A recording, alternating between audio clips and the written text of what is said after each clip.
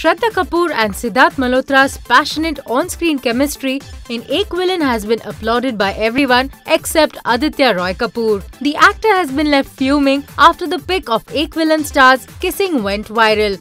Recently, Shraddha had given a cold shoulder to her alleged lover Aditya when she was accompanied by Sidharth for an event. We don't know if the actress was just trying to avoid the paparazzi, but we are sure that Aditya wouldn't have been happy. Even though the Aashiqui 2 couple are currently chalking out a romantic holiday plan, we are afraid this kissing grab might do more harm than good for the young couple.